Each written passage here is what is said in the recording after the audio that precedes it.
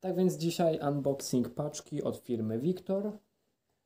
Em, Zamówiłem sobie jedną rakietę. Paczka jest stosunkowo lekka. Jedną rakietę i nawi trzy nawijki. No i naciąg do rakiety, także sobie otwórzmy to. Mm, Paczka jest stosunkowo duża. Ma około metra, no trosz, troszeczkę więcej jak metr. Nie wiem, jak dokładnie może mieć, nie jest napisane, ale tak czy siak warto jest ją otworzyć. Za całą paczkę dałem 261 zł. Także stosunkowo fajnie. Ok. Trzeba na początku to otworzyć, co nie jest też takie łatwe. Ale jakoś to obmyślimy, nie?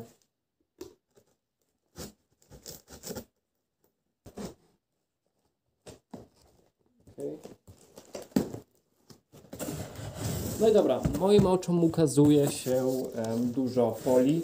Widzę już przede wszystkim naciąg do rakiety, który jest takiego koloru, jest taki żółty. Aha, to jest, jest taki żółty, tutaj widzicie takie żółte stringi, czy jak coś tam nazywa string, to chyba dobrze mówię. To jest tak to wygląda. Um, zapakowane jest całkiem bezpiecznie, z czego się bardzo cieszę. O, jest i sama rakieta, ojejku, muszę ją delikatnie wyjąć. O kurde. Tam widzę, że są nawijki. A, come on! Okej. Okay. No i to chyba tyle. Tu mam e, trzy nawiki od firmy Victor, które dostałem za 8 zł. No i sama rakieta, czyli knuł dzisiejszego programu, jest całkiem lepsza o dziwo. Mm. Wygląda mniej więcej w ten sposób.